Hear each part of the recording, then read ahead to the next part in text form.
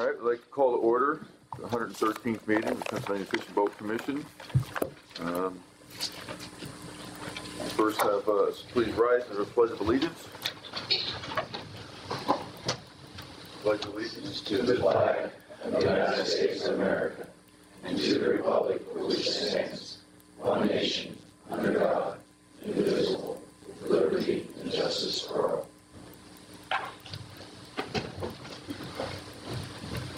Teresa, can you do a roll call, please? Thank you, Mr. President. We'll start with Commission President Gavlick, Present. Commission Vice President Mascharka, Present. Commissioner Ali, Present. Commissioner Bachman. Here. Commissioner Elliott, Here. Commissioner Hussar, Present. Commissioner Ketter, Here. Commissioner Lichvar, Here. Commissioner Sabatose. Here. And Commissioner Squires. Here. Mr. President, we have a quorum. Thank you. Uh, You've had the, the minutes from the previous meetings uh, provided to you and had a chance to review them. Are there any questions or comments, corrections? Mr. President, I move that we approve the minutes. I second that. All in favor? Aye.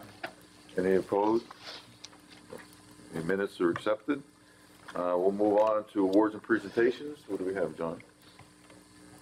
Mr. President, can you please join me at the uh, podium for the awards?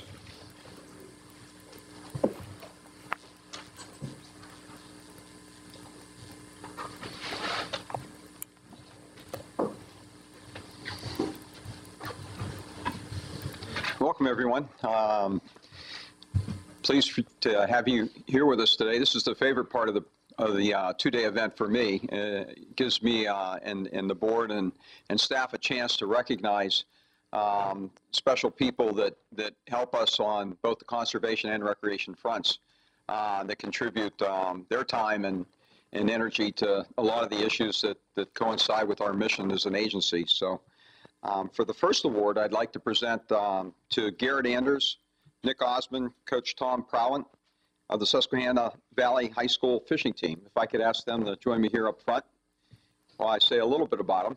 Uh, welcome to the Fish and Boat Commission meeting.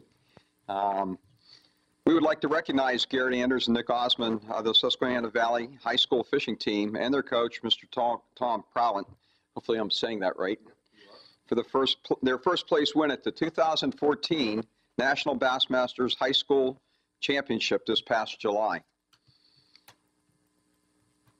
As anglers, we, um, uh, and, and, and, and staff, we were very supportive of uh, youth involvement in fishing, as most of you know, for both recreational and competitive fishing. And commend these gentlemen on the time commitment they and their families have made to, the, to develop their skills and achieve uh, this win and this national recognition uh, for winning the national championship. The commission would like to present uh, our champions with this print to display in their school in honor of their achievement. Also, to ensure these young anglers have many years of fishing enjoyment, the commission is presenting them individually with personal inflatable life jackets to wear to be safe while uh, they're on future fishing adventures. So, thanks a lot for and congratulations on your win. Thank you.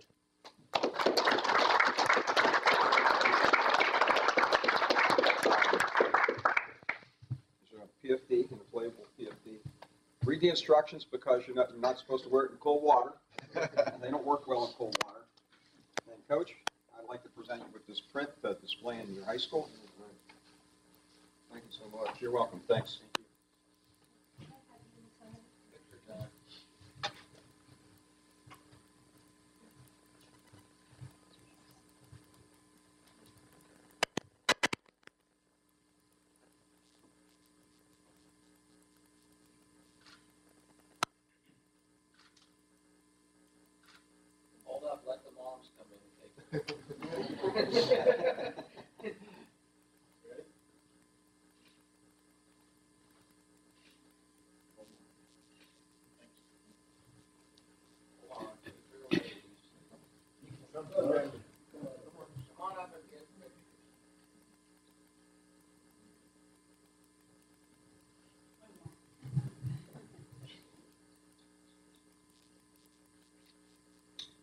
Thanks again.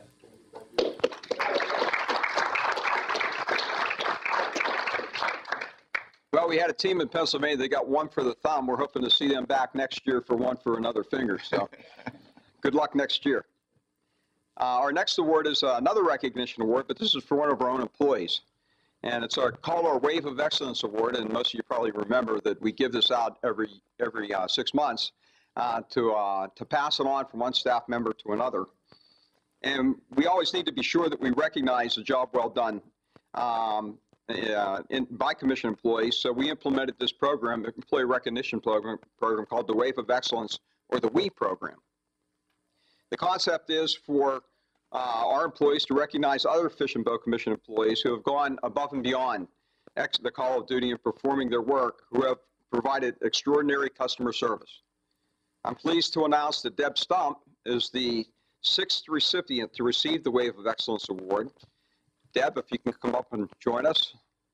Sue, why don't you come up too? Sue's the one that passed, uh, passed the award on to, to Deb. And um, Sue noted that uh, Deb really does put the "we" in the Fish and Boat Commission above the "me" in, in herself. And Deb, we appreciate all the good work that you've done for us. Uh, Deb began her career with uh, the Commonwealth in February of 2005 and came to the Fish and Boat Commission in May of 2005. So you've been with us almost your whole career. Deb is a bit of uh, a jack of all trades, as she calls herself, but she's unlike most of us that are a jack of all trades. She's the master of many uh, as well. She assists the HR team with a little bit of everything, but her primary duties include EPRs, we all love to do, and uh, we appreciate Deb reminding us that we have to do them. Uh, probationary periods, job postings, and working, worker compensation, work-related injury issues. She's a huge asset to the Fish and Boat Commission, and I would personally like to thank Deb for all the hard work that she does, and I'm pleased to present her with the Wave of Excellence Award. Thank you. Thanks, Deb.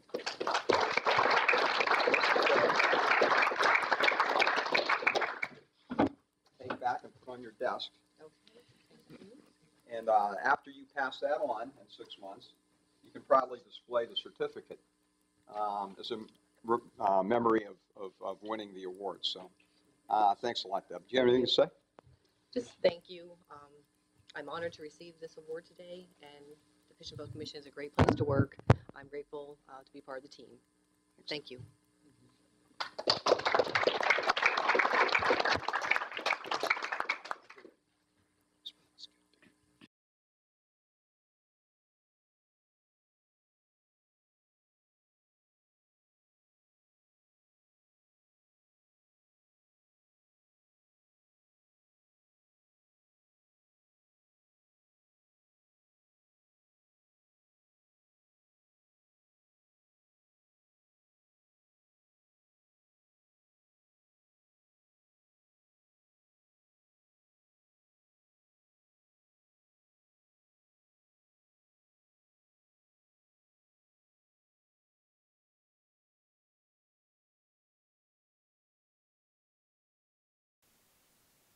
Major Michael Gervin, and uh, I'd also like to ask Scott Braun, Ryan Walt, Corey Britcher, and uh, to, to join me up here at the podium. Uh, Major Gervin has an award to present uh, to the Fish and Boat Commission. So, Major, uh, if you could join us up here as uh, well as Scott and Corey and Ryan. And Larry, why don't you come up too? You're an integral part of this team. Well, it's an honor to be here in front of the, the commission and present an award. Uh, to present an award to the commission. Uh, back in June uh, of 14, the HART program received an international award for program development under search and rescue. And we had a culminating event, a training event uh, in May just prior to that. It was called Vigilant Guard, where we put multiple resources together, synergy to affect domestic operations support. Uh, the, the, the military talk, calls it defense support to civilian authorities, DOM ops, and here we call it HART, PA HART. And what HART is, it's a helicopter aquatic rescue team made up of three agencies PEMA, we have the Fish and Boat, and the National Guard. And HART is one of maybe a half a dozen programs, but I would, from my opinion, say Pennsylvania has the best program because of the agencies that support the entire program. And there's two things from a military uh, that we have a, a grave interest in is increasing our readiness and our medical evacuation and, and helicopter um, training and reducing our risk. And Mr. Walt alluded today that a high risk and a low volume mission is dangerous. And we have over in the last two years two, over about 200 hours of training, of flight time, hundreds of hours of planning, ground training, uh, all kinds of different things that go into putting a safe record together. Out of those couple hundreds of hours, we have zero accidents. And, and it's only by the professional from our newly acquainted partners of getting our law enforcement together in boats. We have our rescue technicians that are our instructors throughout the Commonwealth. And then we have our emergency management agency that is the umbrella, and the National Guard is the umbrella of bringing assets and, and that synergy together. So, you know, on behalf of all three, you know, the other two agencies uh, that received the award back in June, it is my honor to present you the Higgins and Lang- Langley Award. And Scott, if you could read that off, please. The Higgins and Langley Award uh, was uh, given in 2014 for the development.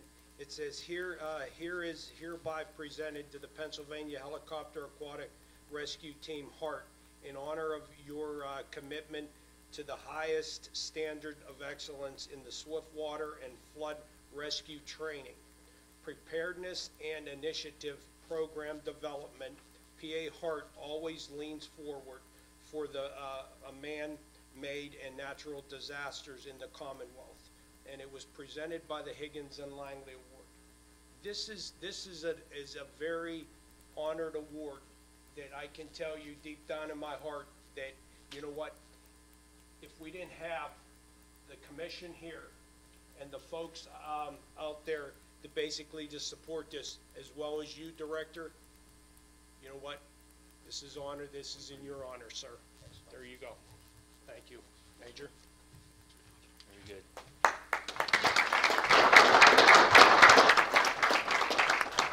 And, and just the uh, just the kind of the culminating event we had in 2014. Uh, it was a multitude of different agencies from FEMA, the National Guard, multi states. This is something the National Guard Bureau countrywide holds annually, and Pennsylvania hosted it along with the partner FEMA.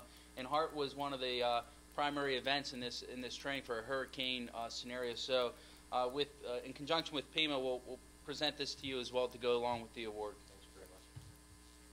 I'll tell you what, we'll proudly display this here as headquarters. At headquarters is a reminder of the relationship we continue to forge with the Guard and, and FEMA. So thanks again. Thank you. Thank you all. Thank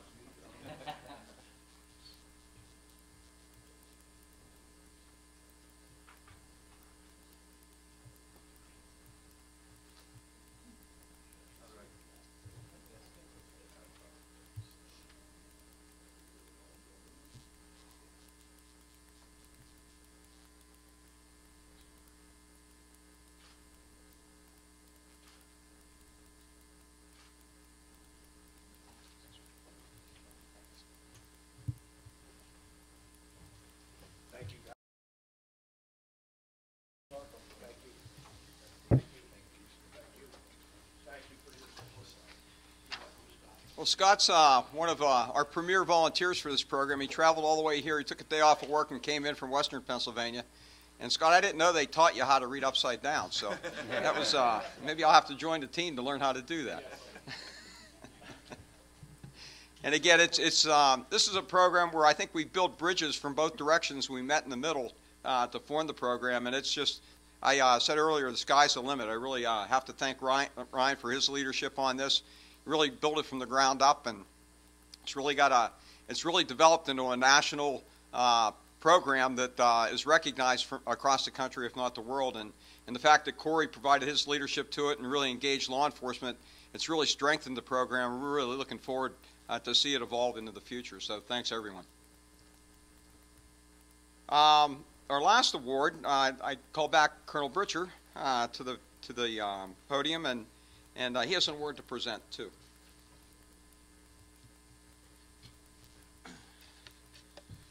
Uh, Good morning. I'm Colonel Britcher, the Director of Bureau of Law Enforcement. And as many of you know, um, the Pennsylvania State Police had a critical incident this fall in that they had an armed assailant kill a, a state police corporal, uh, Corporal Dickson, and then uh, critically injure a Trooper Douglass up in the Blooming Grove Barracks. Um, What you may not know is the next 48 days, a huge manhunt encompassing many agencies, um, both state, local, and federal, uh, took place. Um, the Pennsylvania Fish and Boat Commission was not immune from that, and we actually provided support in, in, in that we had officers there just about every day uh, supporting our brothers in gray.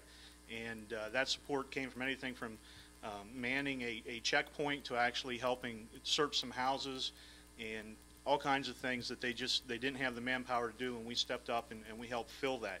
Uh, because of our service to that, the Pennsylvania State Police has thanked us as well as we have here in front of us um, that I'm going to present to the uh, Executive Director Arway and uh, Commissioner President Gavlick here. Uh, we have a certificate of recognition presented to the Pennsylvania Fish and Boat Commission. It's called the Pocono Proud Community Service Award, and it's uh, dated November 18th, 2014. And it says the continuing development of a strong Commonwealth of Pennsylvania and a strong United States of America depends upon the encouragement of good citizenship. It is in this spirit that the community, communities of Pike and, Mercer, uh, Pike and Monroe counties opened their hearts and homes to those in need following the shooting of Blooming Grove State Police Barracks. Your selfless actions and sacrifices went above and beyond the call of duty, and your genuine compassion for the victims, their families, and for our first responders will never be forgotten. Your extraordinary support in the face of adversity and your overwhelming display of unity and goodwill continue to make us Pocono proud. Your efforts have made a difference in the lives of countless others. And uh, this is uh, awarded to the Pennsylvania Fish and Boat Commission by Governor Tom Corbett, Senator Lisa Baker, Senator John Blake, Senator-elect Mario Scavello, Representative uh, Rosemary Brown, and Representative Mike Peifer. Gentlemen?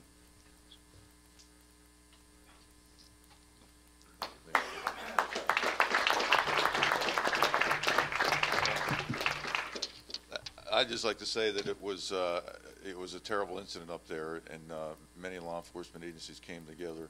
Uh, We saw a lot of it up from up in that area. Um, And uh, I just, like I say, I'm, I'm just proud to be part of the fact that we were able to do something to uh, assist in that whole endeavor, and uh, with our law enforcement crew, who I think uh, we have, are second to none anywhere in the state of Pennsylvania, so thank you.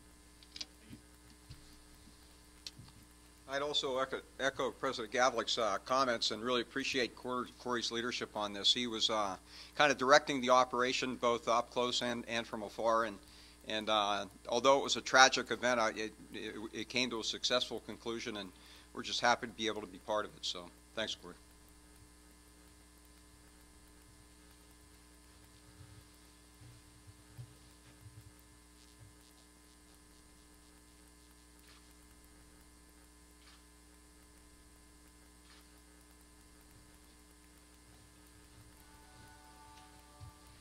Well, it's pretty humbling. Usually these ceremonies, we give out awards. It's uh, humbling to, to get awards uh, for the good work that staff has done. So I, I'd like to thank all staff that have contributed to the efforts because this is, these aren't just one-man awards. They're really team awards. And uh, a lot of people within the agency contributed a lot of time, on sometimes personal time, uh, to, to the accomplishments uh, that go behind receiving these awards. So thanks, everyone, for, for contributing. And that, President Gavlick, that concludes the award ceremony.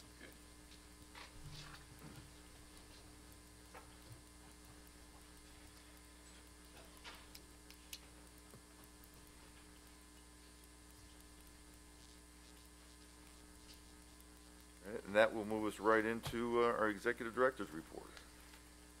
No rest for the weary. Well, I'm going to switch it up a little today. Um, and I know some of the staff are probably saying, what's he going to do now?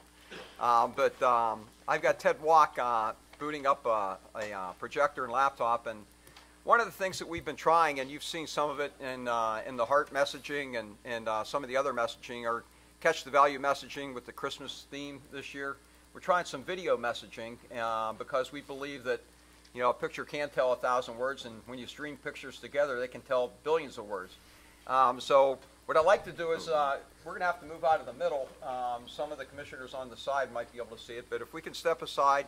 And the first video that I'm gonna show is just a clip out of a, a video produced by the Arizona Game and Fish Department. And it, it just tells us or shows us some of the things that we can do as a state agency to promote fishing and hunting across the country. In that case, Arizona Fish and Game has both fishing and, and responsibility for fish and wildlife.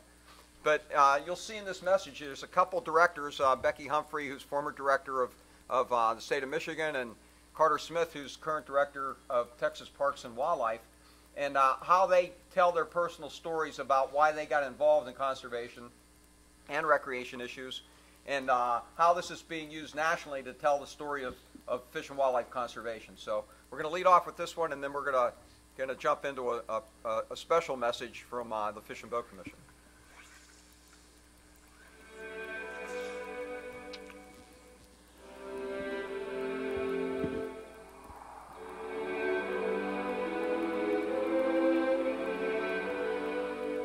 Well, I have many moments in my in my childhood. Every moment of our lives is a chance to understand what matters. I had a childhood where I spent a tremendous amount of time in the outdoors. And these are moments that matter.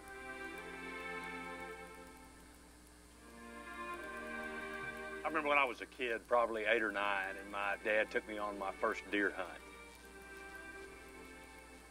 We lived up around five different lakes, so I spent every day during the summer down on the lake fishing. They're moments we'll always remember. And I remember sitting there and this bobcat came out in the sendero, and it was just magical. And I've been hooked ever since.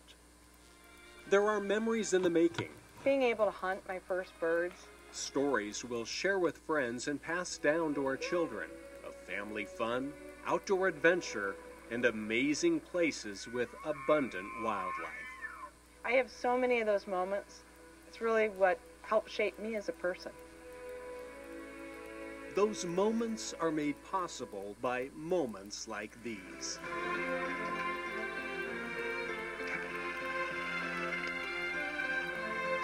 Every day, all across North America, state wildlife agencies are leading heroic efforts to restore endangered species, repair critical habitat, and maintain our nation's natural abundance of fish and wildlife for generations to come. The states really are the cornerstone for fish and wildlife conservation across our country. Really always have been. Um, they're the laboratories of innovation. States are the champions of America's fish and wildlife. We're the voice, we're the ambassador, the caretakers and stewards of this extraordinary assemblage of fish and wildlife and outdoor recreation that we've inherited and that we want to pass on to future generations. The leaders of those state agencies and their federal and private partners in conservation must realize they stand on the shoulders of giants. Giants of conservation and American democracy who made the most of their moments on Earth. Those fathers of this great nation who designed a government that gets its power from the people, and those founders of a system of conservation that we call the North American model. The North American model grew out of the concept of democracy. People own the wildlife, and therefore it is their responsibility to, to, to manage the wildlife scientifically, not politically. It's a system that recognizes wildlife as a natural resource belonging not to the government or the crown, but to the people who are its rightful owners. As we built the country and we defined the, the authorities between the federal government and the states, under public trust doctrine, the, the wildlife became under the state authority. Public trust doctrine gives states the privilege and the responsibility to hold wildlife in trust for the people. It is fundamental to the democratic federalist principles that the states manage the wildlife for the people. That is a, a product and a function of this great democracy that was established here, right here, 200 years ago. Of course, most people have never heard of the North American model or how it evolved over the last century. They're not aware of the Pittman Robertson Act or other mechanisms of sportsman funded conservation. Few Americans would recognize the names of conservation trailblazers Gifford Pinchot and George Bird Grinnell. And those who do speak of Theodore Roosevelt and Aldo Leopold likely know only the trimmings of their contributions to the most successful conservation system the world has ever known. Look at all of them out there. It's amazing. But people do appreciate wildlife. And as heirs to North America's wildlife legacy, they're fortunate to have conservation leaders who understand their critical role in the world today. These jobs are an extraordinary privilege. There's no doubt about that. That's absolutely undeniable. But these jobs are not about being a director. They're really about being a steward. They're about being a champion and enabler for this extraordinary group of professionals that are biologists and technicians and game wardens and communication specialists and outdoor recreation professionals um, and helping to inspire them to do more for our home ground. For more than 100 years, state conservation leaders have had a huge role in transforming this continent from one that exploited and exhausted its precious natural resources to one that's blessed with a wealth of wildlife thanks to sustainable science-based management and conservation. Yet today, conservation is at a crossroads, just as it was back in 1902. That's when wildlife managers from six of the 31 states that had game and fish agencies met in Yellowstone Park to form an alliance that would give them a stronger voice and greater influence in the national conservation arena. That modest gathering evolved into what is now the Association of Fish and Wildlife Agencies. It's a collective of all 50 state agencies, three U.S. territories, and political subdivisions of Canada and Mexico working together on behalf of their citizens and the wildlife they hold dear. You know, it came together to really bring states together and be able to speak with one voice so that we could speak clearly and we could speak loudly on the issues that really impacted us. That's probably more essential today than it's ever been. No doubt, there's a litany of challenges, and they're big. Um, you know, as I reflect on 20 or 25 years in this profession, the challenges that we confront, they're, they're bigger, they're more complex, and really at scales that are absolutely unprecedented in what we've seen in the past. And so that, that creates enormous challenges for us. It also creates enormous opportunities. Opportunities to draw on the source of past success so that one-time challenges become a brighter future. When I look back on the history of wildlife conservation, there are special moments in time that are unique, that are turning points, that 50 or 100 years from now, people will write about. Today, right now, this is one of those moments. Once again, North America is looking for leaders to define a path forward. We have to think about what's going to need in 100 years. And that's what's probably the biggest challenge and could be the biggest missed opportunity that we get so focused on the problems of today that we don't change and anticipate the needs of 100 years from now. When times get tough, this is what we've got to remember. This is what we've got to keep in mind. Our future generations. We do it for them. The kids, Sammy and Marilyn Joe, these grandkids, and all all of the kids in our country just like this. Right, kids? Yeah.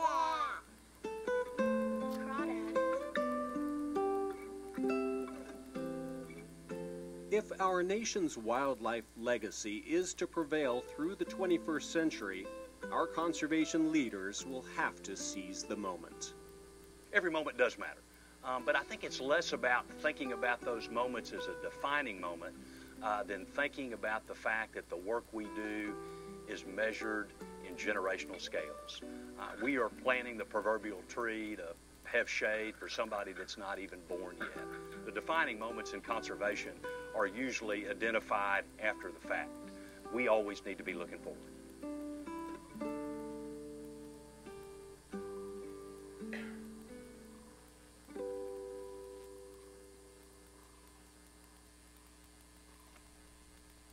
Okay, well, that uh, conservation message, I, I think, couldn't be said any better than by Becky and Carter and Lowell.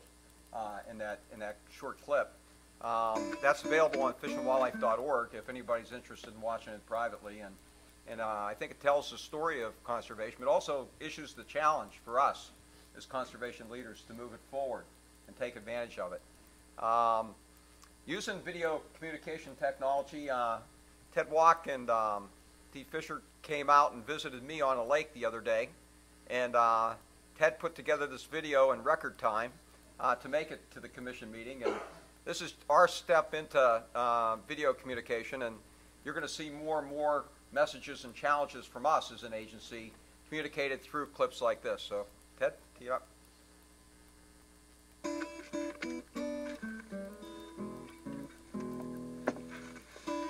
Hi, I'm John Arway, Executive Director of the Pennsylvania Fish and Boat Commission. I'm here today on Foster Joseph Sayers Reservoir in Bald Eagle State Park, in north central Pennsylvania, catching the value for a new year. Who says fishing in Pennsylvania is only about trout and bass in the spring, summer, and fall? Although I love to fish when the weather is warm and comfortable, I don't stop fishing when the water freezes.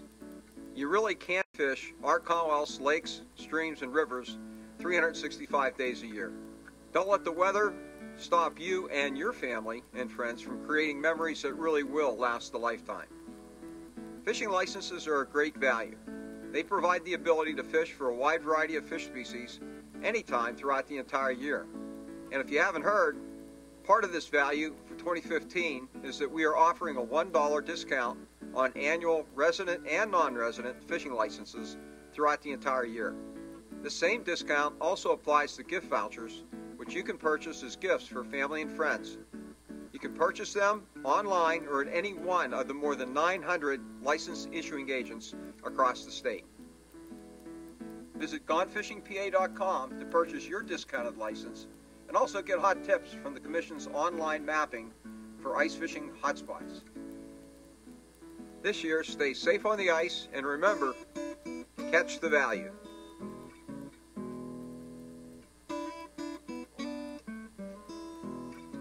Well, I, I really like to thank Ted and uh, Andy Shiels for being the, uh, the uh, actor in the background there. Um, uh, and, and, and Dee for, for, for joining me for a, a short time on the ice to collect uh, some panfish and show you exactly, you know, how much fun ice fishing is, is in the state. We're going to try to market um, our other programs as, as effectively as and efficiently as, as we do the trout program. And this is, this is just uh, a start. So stay tuned for, for more uh, videos like this from a variety of staff talking about a variety of subjects and other activities that we do as an agency. So, uh, Mr. President, that concludes my report. Okay, thank you. It's, it's great that we're moving that into the video age. I think it's going to go a long way to uh, continue all the efforts that we're doing and people that respond better visually to things sometimes than others. So I think it's going to be a great thing. Okay, moving along, we have um, uh, Laurie. Uh, are you going to handle an announcement of a notational vote?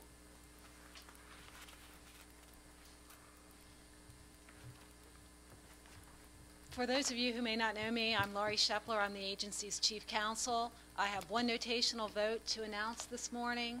Back in December, the commissioners approved the acquisition of a piece of property located at 595 East Rolling Ridge Drive in Bellefonte, Centre County, Pennsylvania.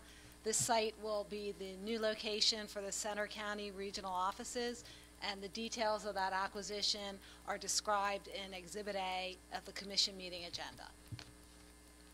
Okay, thank you. And uh, we also had an executive session that we held yesterday, uh, January 20th, uh, at about 8:30, uh, where the board, the commissioners were briefed on various personnel, real estate, and litigation matters. That, we'll move on to our committee reports, which uh, brings us to the first, the Executive Administrative Committee, which was held yesterday. Uh, We discussed various uh, items and uh, heard presentations from various staff, and we voted on a couple of various property uh, transactions. Um, And that was about it for that. Um, We'll move on to boating. Mr. President, thank you. The voting committee met this morning. Uh, we had no uh, final rulemaking issues before the uh, committee. However, we had discussions on the recreational uh, boating safety performance reports, annual boating accident analysis, uh, a presentation on the water rescue update program and the HART team. And it was uh, presented to the committee and to the full board that the Boating Advisory Board meeting announcement will be February the 12th as the primary date and February the 18th as a backup date due to inclement weather. And that's the report, Mr. President. Okay, we'll move on to fisheries, which actually covered almost two days' worth of meetings. Commissioner Mascharka? Uh, Thank you, President. Uh, I'll start off with a uh, a little bit of a synopsis. Uh, We had a uh, a a very heated, uh, long debate on Class A trout uh, topics. Um, And I want to summarize in that uh, I thank our commissioners uh, and staff for all their efforts and um, their knowledge and their thoughts and concerns. Um, I'd like to apologize to Lenny for getting a little uh, heated and, and kind of pushing him along, but I, I, I do mean well, and I apologize for that, Lenny. Um, the, the heated debate was on the additions to the Class A wild trout streams, which we didn't uh, have any issue with. The proposal to continue stocking those uh, created a, uh, that debate, and uh, I think on a lot of public comment, a lot of uh, things in the designations and proposals that we've already added an extra layer of uh, protection um, through our changes to the change to, to stock Class A streams that, that requires not just the executive director, which was the way it was before, but now requires the commissioners to approve it. That extra level of protection maybe not have been recognized, but I want to recognize the fact that uh, Bill Sabatose re- was requesting to put a motion through today, and uh, I've asked him to, to allow me to work on the commission's statement of policy regarding Class A wild trout streams between now and December 31st of 2015 to really strengthen the Class A wild trout stream program inside of our trout plan. And I promise to Commissioner Sabatose and to the constituents and fishermen in Pennsylvania and the public that I will work on that uh, in my term uh, the next nine months to a year. Um, And then I'll go on to finally uh, summarize the rest of my report as uh, we have some, one final rulemaking uh, uh, topic that uh, deals with boating and, and, and through stressful regulations areas. We have a proposed rulemaking um, on some changes we're going to make through DHALOs or delayed harvest artificial lures only. We had uh, several designations we finished this morning, uh, one yesterday for Pine Creek, Marshall Lake, and some other bass and panfish regulations. And then Brian Wisor gave us a very, very uh, nice overview of our new Reynoldsdale hatchery remodels and uh, renovations. And then we talked about the striped bass regulations on the Delaware estuary and river uh, to coincide with uh, some of the uh, U.S. and national uh, programs to change striped bass regulations by 25%. That concludes my report. Uh, Commission President. Commissioner? May I, may I respectfully uh, say something to uh, Absolutely. Commissioner Sarko? Sure, go ahead, Bill. Um, My comments are uh, basically uh, about the Class A wild brook trout streams. Um, uh, I respect you, Commissioner, uh, to give you time, but I, I want, I want you to know that um, in no way that I want to see Class A wild brook trout streams stocked. And uh, hopefully we can address this in the future. Thank you very much. I promise to do that. Thank you, Bill. Okay, thank you. All right, we'll move along to uh, Habitat Environmental. Commissioner Elliott. Thank you, Mr. President. We met uh, yesterday at 1 o'clock. We had uh, five presentations on, on various subjects, and we'll be bringing one item uh, to the board today for approval. It's a grant for fish, pa- fish passage and habitat uh, restoration to the uh, American rivers. That concludes my report. Thank you. Thank you. Uh, Law Enforcement, Commissioner Squires. The uh, Law Enforcement Committee uh, met this morning. We uh, received a briefing from uh, Chief Counsel on some changes to simplify and more clearly state our fishing regulations. Uh, The committee unanimously moved those forward to a proposed rulemaking. And they will be posted then and waiting for public comment. Uh, From uh, Colonel of our law enforcement, uh, we received an update on a pollution hotline, uh, Marcellus update, uh, pollution investigations, and the uh, progress on putting together our 21st WCO class of uh, conservation officers. On the uh, revocation side, we dealt with uh, one related to fish, one related to snake, and uh, 10 related to boating. The committee addressed all of those and uh, followed through with recommendations from law enforcement as to appropriate action to those individuals, and that concludes my report. Thank you. And finally, uh, Legislation and Public Outreach, Commissioner Ali. Thank you, Mr. President. The Legislative and Public Outreach Committee met yesterday. Um, there were no final rulemakings or proposed rulemakings uh, to come before us. We did have discussion items on the current uh, state legislative update. Uh, Mr. Schaeffer also brought us up to date on some of the luncheons he had uh, so far with um, the legislators. We also um, are waiting to hear a date to give the annual report uh, from the Fish Commission to the House Game and Fisheries Committee. Um, Laurel Anders um, gave us an overview um, of the 2015 Mentored Youth Trout Day. Um, other than that, that concludes my report. Thank you. Thank you. Uh, Moving along, uh, at this point, will- any public comments? Anyone at this point wishes to address the board? Public? None? Okay. Uh, I guess getting on with the agenda, who's up first? Brian?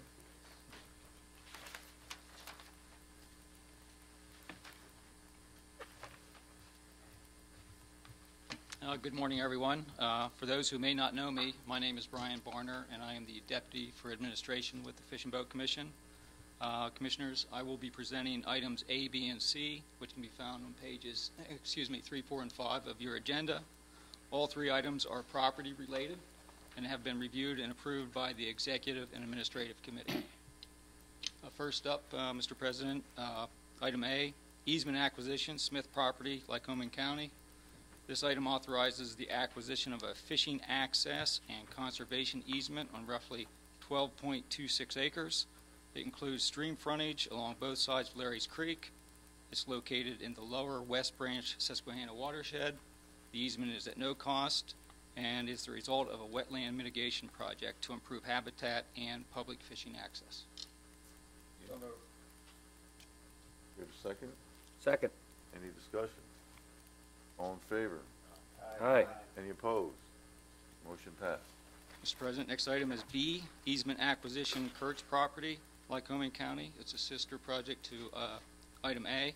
The item authorizes, or the acquisition of a fishing access and conservation easement on roughly .67 acres of property. It also includes stream frontage along one side of uh, Larry's Creek. It is obviously located in the lower West Branch Susquehanna watershed as well. The easement is at no cost and is also the result of a wetland mitigation project to improve habitat and public fishing access. Do you have any motions? We have a motion and a second. Any discussion? All in favor? Aye. Any opposed? Motion passed. Third and final item for me is a property acquisition on the West Branch Susquehanna River, Union Township, Union County. Uh, To mitigate potential impacts to the recreational use of the river by the Central Susquehanna Valley Transportation Project, PennDOT has offered the commission a two-acre parcel of land with a developed access point to the river. This acquisition is also at no cost. We have we have a motion and a second. Any discussion? All in favor? Any opposed? Motion passed. Thank you. Thanks, Frank. Andy gets the good stuff.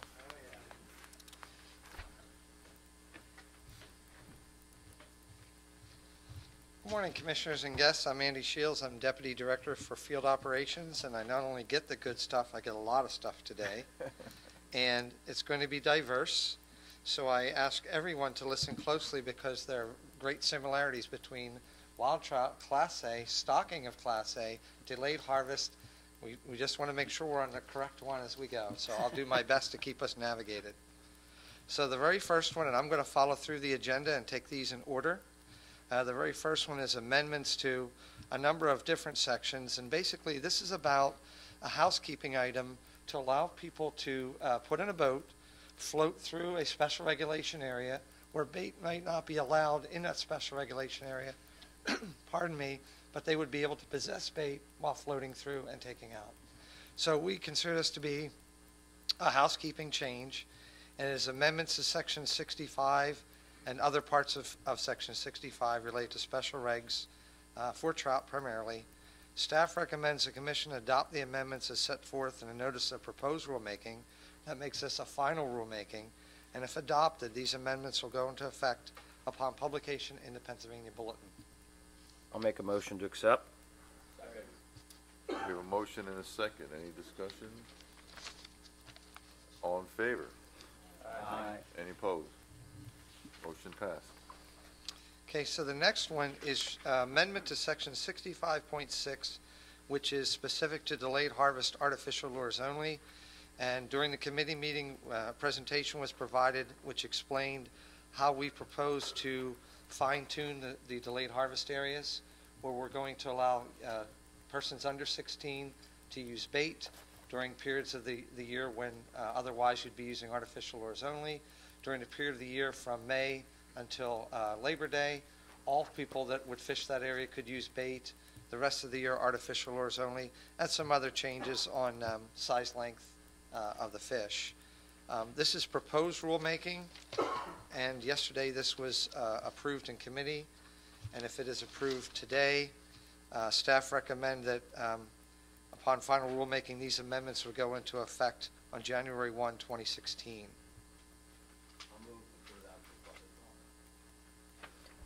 I'll second. We have, we have a motion and a second. Any further discussion? I just want to remind uh, the public that uh, on, on any type of uh, suggestion uh, like this, this is proposed, so we will take all public comment on this topic and move uh, through committee to uh, research all the changes and decide if they're all in the correct format and fashion, and we'll move forward later with final rulemaking.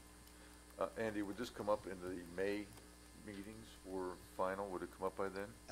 So, June. Won't be till July, okay. Okay. so- That, that will allow additional time for comment, and just to help thi- keep this one straight from the next one I'm going to read, this, this encompasses all of the delayed harvest projects in Pennsylvania. So Correct. this is an over, overarching change to the program. Okay. The next one will be more specific. Are we going with a normal time frame, or can we go with a 60-day? That's up to the, the board. I, I'd like to suggest that we do that for 60 days at least. Thank you. Do we need a motion? Laurie, do we need to do a motion on that? I'll We make a am- motion, the same motion when you have public comment for sixty days. Okay. I'll second that motion with the longer time frame. All right, all in favor? Aye. Any opposed? Passed. Okay. The next one, we should be up to it was in page 10 on the uh, agenda. This is a designation, and this is the removal of the current designation of Pine Creek in Lycoming County as a delayed harvest artificial lures only area, and redesignating that area as a catch and release all tackle area. You'll remember at the last commission meeting, this area was basically doubled in length and was made a longer delayed harvest artificial lures only. The proposal before you is to adjust that new enlarged uh, stretch and make a catch and release all tackle area, which will allow additional groups of people to fish that area, including children and, and others, um, and using other methods besides artificial lures only. We have a motion? Motion. Motion and a second. Any further comment or discussion? Uh, Hearing none. Uh, all in favor? Aye. Any opposed? Motion passed. And for the record, uh, now that you have voted on that, it will go into effect upon publication of Pennsylvania Bulletin, which means once that happens, people will be able to take immediate advantage of that opportunity this year.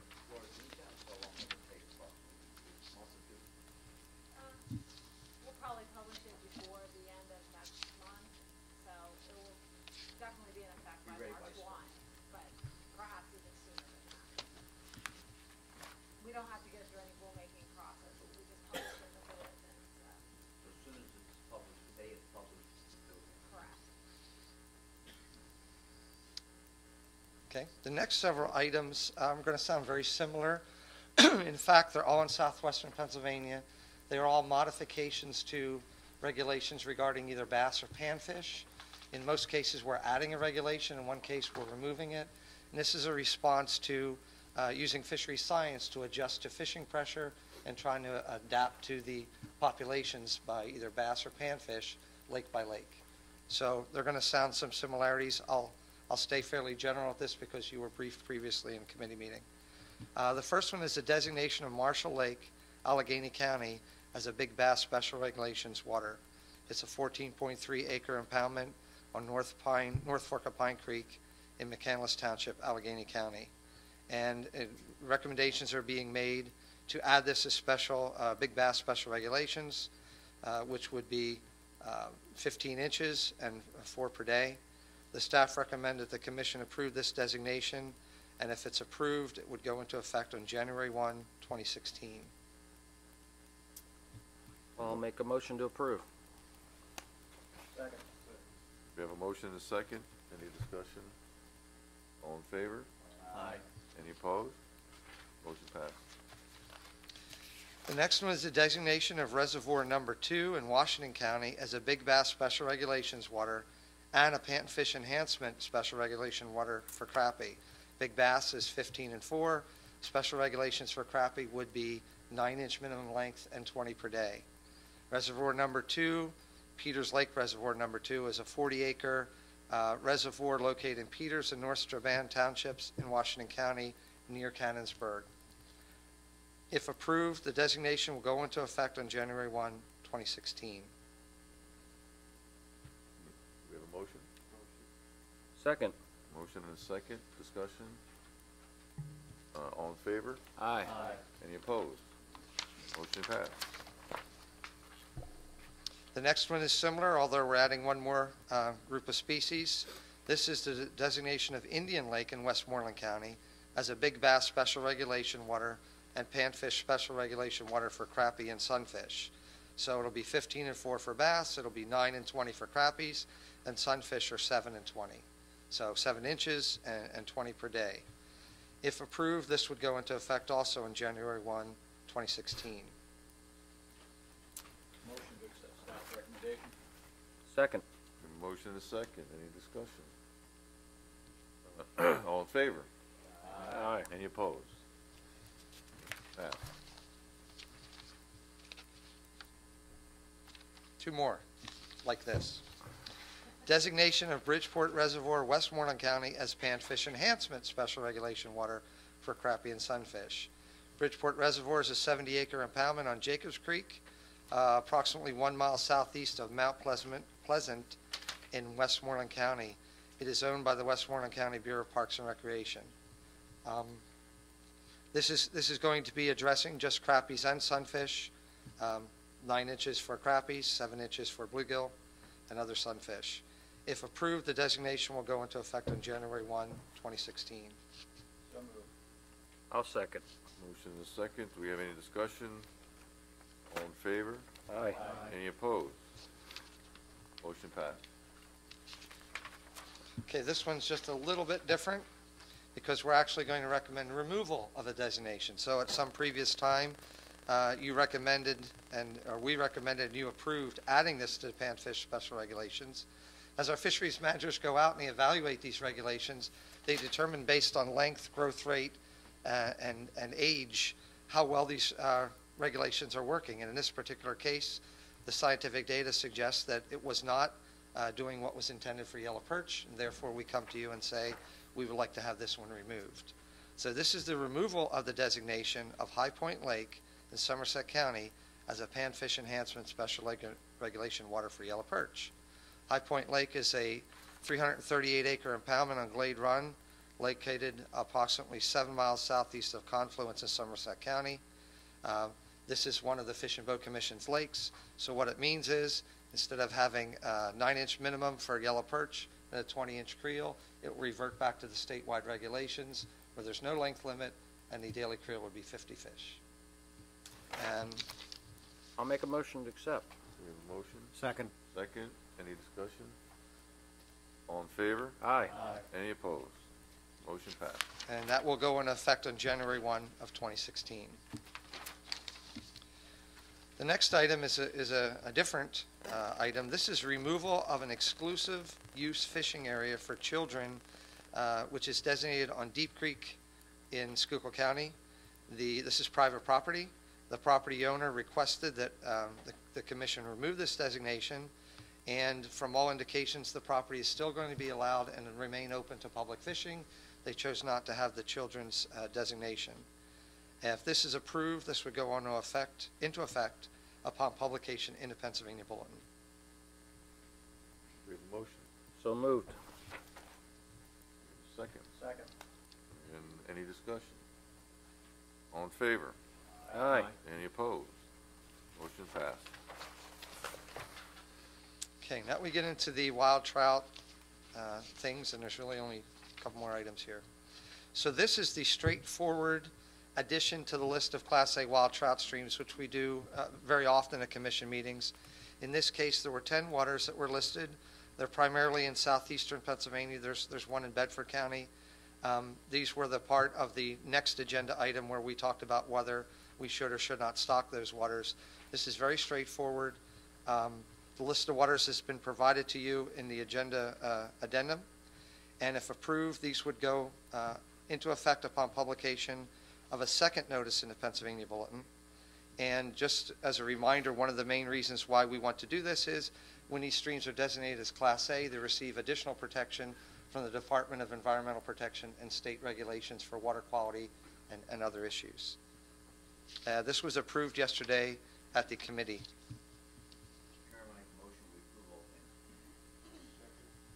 Motion is second. Any further discussion, comments? Any, all in favor? Aye. Any opposed? Motion passed.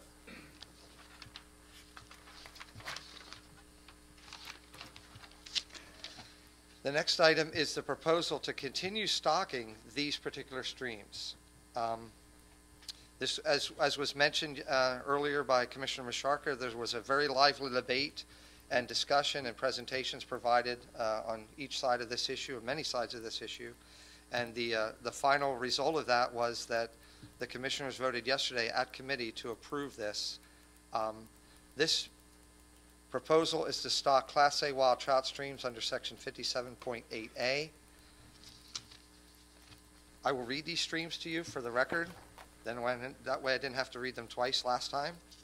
This is Fishing Creek, Section 13 in Clinton County, Little Lehigh Creek, Section 4 in Lehigh County, Little Lehigh Creek, Section 7, also in Lehigh County, Martins Creek, Section 1 in Northampton County, Monocacy Creek, Section 8 in Northampton County, Monocacy Creek, Section 9 in Lehigh and Northampton counties, uh, Penns Creek, Section 2 in Centre County, Pohopoco Creek, Section 4 in Carbon County, Yellow Creek, Section 4 in Bedford County, and Yellow Creek, Section 5 in Bedford County.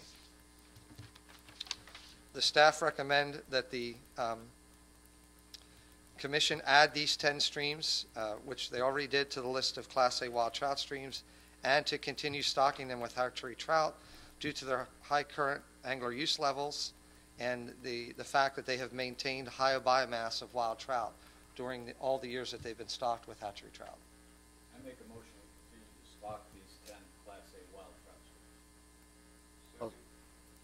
Motion and a second.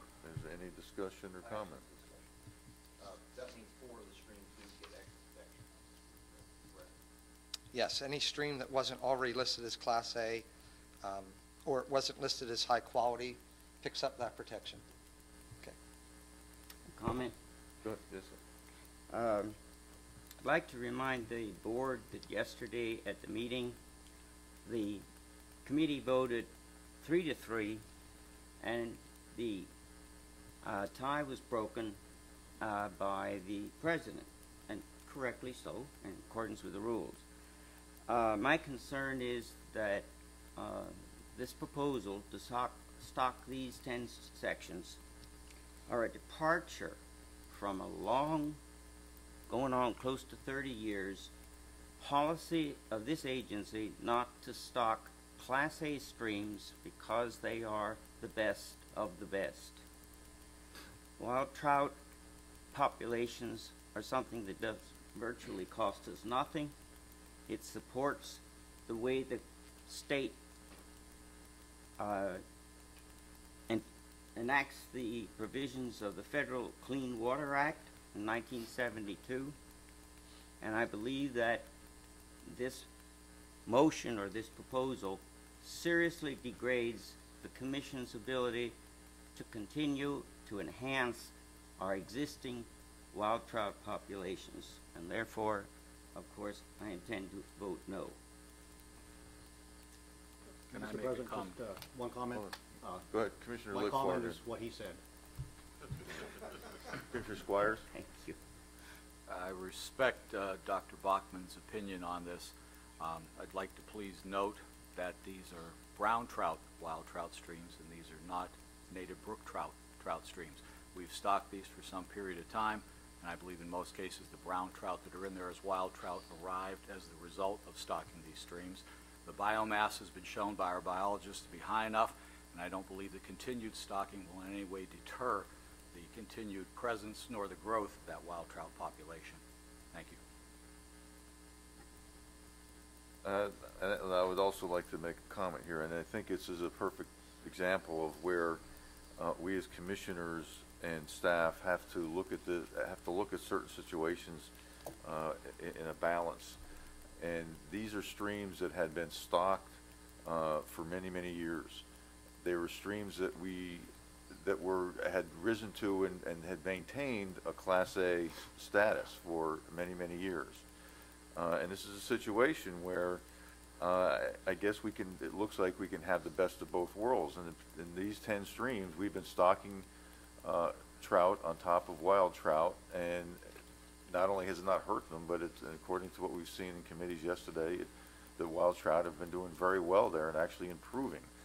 Um, and these are high usage and highly fished, uh, waters. Uh, and I think it doesn't mean necessarily that we're making this decision that we're automatically now gonna start stocking wild brook trouts. That's not the case. There's no, one that's not gonna happen. Um, and as noted previously, uh, prior to, uh, changes we just recently made, the executive director had the ability to stock any wild trout stream at any time, at any place, as he decided he wanted to do. Uh, so we've changed that now and made it that it has to come to the Board of Commissioners for any uh, stocking that has to be done uh, in the future. So we've added additional protections for uh, wild trout streams. We didn't take them away. Uh, And I don't, and these particular streams, I don't think change that. But I think this presents uh, an opportunity to allow these streams to continue to be utilized in the way they've been being utilized. And at the same time, we've been able to uh, add on the additional protections that come with Class A designation. So I, I- see it as a win-win for everyone, for the, for the users, uh, for, for those who want to conserve it, for those who protect wild trout. In this particular case, with these streams, it seems we've been, meet all of those various uh, criteria. So I think this is a, a win-win situation going forward. Uh, Anything else, any other comments? Okay. Uh, Teresa, would you do a roll call vote on this one, please? Sure, absolutely. I'll just- We'll do it in alphabetical order. Commissioner Allen. Commissioner Bachman. No. Commissioner Elliott. Yes. President Gavlick. Yes. Commissioner Hussar. Yes. Commissioner Ketter. Yes. Commissioner Lichvar. No. Vice President Mascharka. Yes. Commissioner Sabatose. Yes. And Commissioner Squires. Yes. And Mr. President, we have more yeses. Thank you. Uh, Motion passed. The last item, switches committees, it's Habitat Environmental. It's very straightforward, not very controversial. This is a fish passage and habitat restoration grant to American Rivers Incorporated for the removal of the Dowlin Forge Dam on the east branch of Brandywine Creek in Chester County. And basically, this is a pass-through, pass-through grant from PennDOT to Fish and Boat, who will pass it through to American Rivers to remove this dam. Uh, This grant uh, approval is in the amount of $274,000, and um, we request, it was approved yesterday in committee, we request that you approve it now. So moved. Second. Motion and a second. Any discussion? If I could make a. If I could make a comment, uh, this dam is on the, uh, the Brandywine, it's actually in my district and actually in my hometown. Uh, I want to thank staff and all involved for their hard work in doing this. There were some obstacles to overcome, and some other groups to work closely with and be able to uh, meet their needs as well. And uh, I think it's very well done and very much looking forward to improving this uh, waterway. Thank you all. Okay. Uh, all in favor? Aye. Opposed? Motion passed. Thank you, Commissioners. That takes care of our agenda at this time, and that takes us Nope, to. one more. Oh, we have law enforcement, I'm sorry. Yeah, we have a law enforcement. All right, oh, forgot, that she never does this. Yeah. She never did this before. I have the distinction of presenting the very last commission uh, meeting uh, uh, agenda item this morning. It's a proposed rulemaking item on page 22 of your agenda. It relates to proposed amendments to Chapter 61, 63, and 65 to simplify and consolidate fishing regulations. The Law Enforcement Committee considered this matter this morning and recommended approval by the full board. As we discussed this morning, it has long been a concern that the complexity and number of fishing regulations may be a deterrent to people fishing. Therefore, we assembled a work group. We looked at some proposed amendments to those fishing regulations. Some are housekeeping, some are substantive. We went over those regulations in quite a bit of detail this morning, so I won't repeat the, um, what we, we discussed this morning, but they are described in quite a bit of detail in your agenda. So the staff recommendation on this is that the commission approve the publication of a notice of proposed rulemaking containing the proposed amendments described in the commentary, and we're also asking that you seek public comments for a period of 60 days. If um, the proposed changes are adopted on final rulemaking, the amendments will go into effect, into effect on January 1, 2016.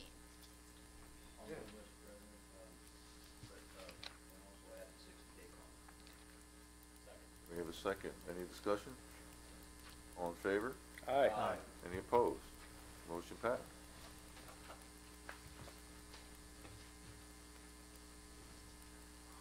Okay, with that, uh, do we have any other business to come before the board? Mr. President, I just have one, make one quick comment. Go ahead. Uh, As many of you know, uh, former Commissioner Worobec is having some serious health issues, and I just ask that uh, all of us keep him in our thoughts and/or our prayers, if that is your preference. Thank you. Thank you. I- I'll just second that with uh, Commissioner Lichvar. I was going to mention that. I would also, at this point, uh, like to welcome uh, new Commissioner Eric Hussar, uh, also known as Hussey, I believe it's, to our board. This has been his first uh, committee meeting, and uh, uh, we'll hold off his speech for the next one. Um, uh, Anything else? With that, we have a motion to adjourn. Oh, I'm sorry, hold on. Time and place of our next meeting. Thank you, Mr. President. The next commission meeting is scheduled for May fourth and fifth, and the location is to be determined. Okay, now we have a motion to adjourn. Second. And we are adjourned. Thank you. Thank you.